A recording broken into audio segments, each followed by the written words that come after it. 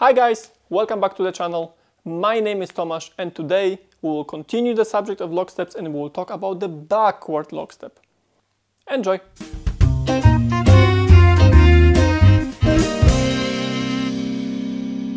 Before we start this video, feel free to watch our video on forward lock step. You will find the link in description below.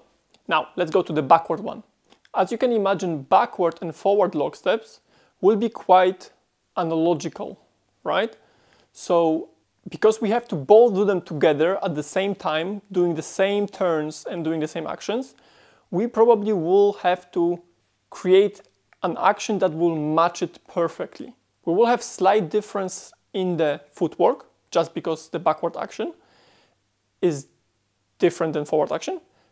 But in the end of the day, the spread of the turn, the rise and fall, and the timing will have to be the same in order for it to work in a couple.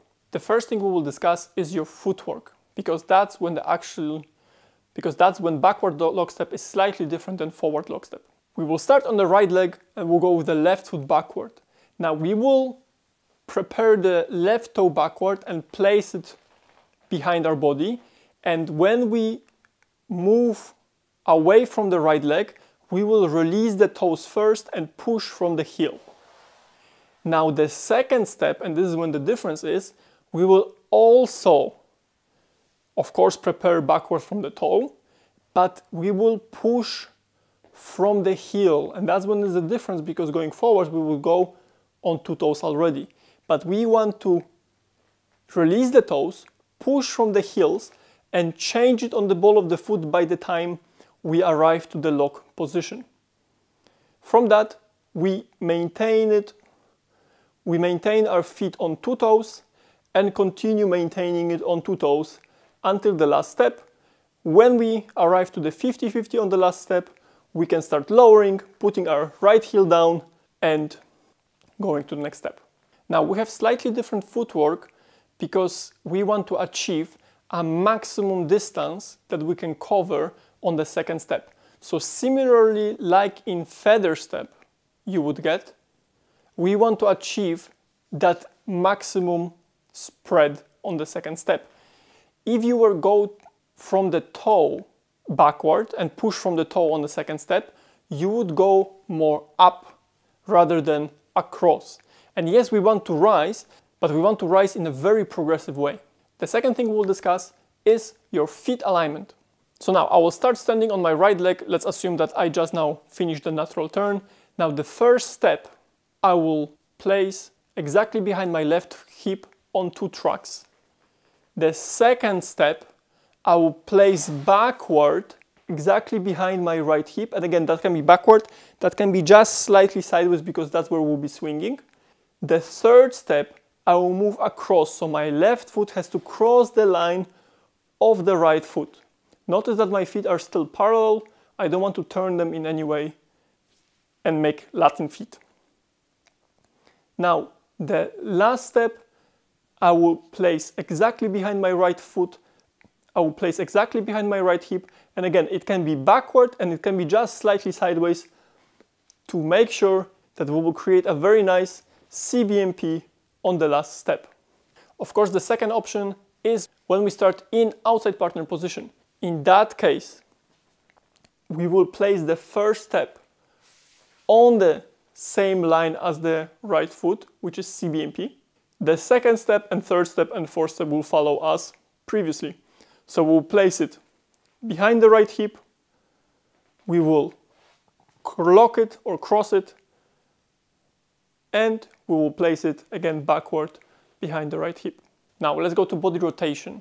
Again, we will have two options. If we start with closed position, we will start with the body wind up to the left. We will start turning to the right and we will be squared in the middle of the first step. We will continue turning our body to the right, so continue our CBM action, until we achieve a side lead just before we place our right foot on the floor. We will keep the same alignment when we lock and we will keep the same alignment when we go to the last step and when we lower. Now, the second variant is to start already in the outside partner position, which you might have guessed it, we have to keep the body exactly in the same position through the whole lock step. So again, if we start with the right foot backward, I will keep my body on 1 8 angle, uh, I will keep my body on 1 8 body turn to the right and maintain it the same body angle through the whole lock step. Now let's show it sideways so you see it better. So again, option number one, we're starting with the wind up. We are starting to turn, we are square in the middle, continuing the turn, releasing the side just before the right foot is placed, maintaining the same position in the lock step, and maintaining the same position in the last step and during the lowering. And the second option is when we already start in outside partner position, where we just maintain the same body position all the time. Now, of course, in the basic form, the timing will have to be the same as in forward action. So slow, quick, quick, slow. Therefore, the acceleration and deceleration will be danced in the same way. So let me show you sideways how it should look. Again, just for the practice purposes, try to do it with your right hand swinging freely into the lowering and CBM action. So I'm starting on the right leg with my right arm in front, my left foot will be going backward and I will turn my body to the right. Now I want to lower and throw, which means turn my body during the first step and a half to accelerate and then decelerate through the lock and the last step. So, and slow, quick, quick, slow. Now it's very important that just because we accelerate and move backward, it it means that our body should be falling backward. Our pitch of weight should still be over the ball of the foot and we should be still quite poised forward. Yes, our whole body line will be moving backward through our feet, but it doesn't mean that we should be moving shoulder and head behind the hip and feet. That will create a very weird image that will look like you tripping instead of you falling nicely. Okay, so let me demonstrate. The first option when we falling nicely is when I'm, my body is still presented forward, even though I'm moving backward. And the second option, I will move my shoulder and head slightly behind my hips and feet, and I will look like I'm tripping. Now, please notice that in the second version, I couldn't even keep to the timing. And yes, of course, I exaggerate, but you have to make sure that your body line is still either straight or even slightly prepared forward. And then of course your legs are going behind your body, but they don't change the alignment of the postural line. Okay, that's it for this video. Thank you for watching. As always, give us a thumb up if you like the video. If you have any questions, put them in the comment section below. And I will see you in the next one. Bye bye.